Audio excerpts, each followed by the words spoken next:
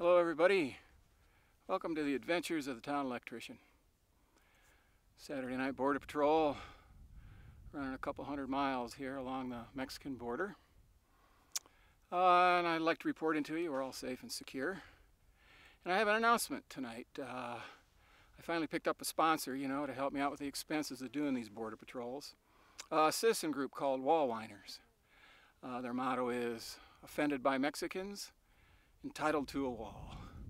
Uh, I spoke to the leader of the group the other the other night, uh, and he said they can be found at all the Trump for President rallies around the country if anybody's interested.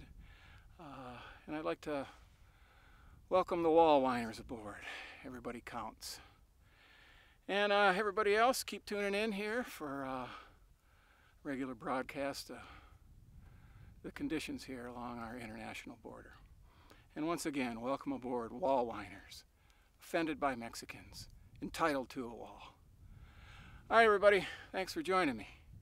From border to border, adios.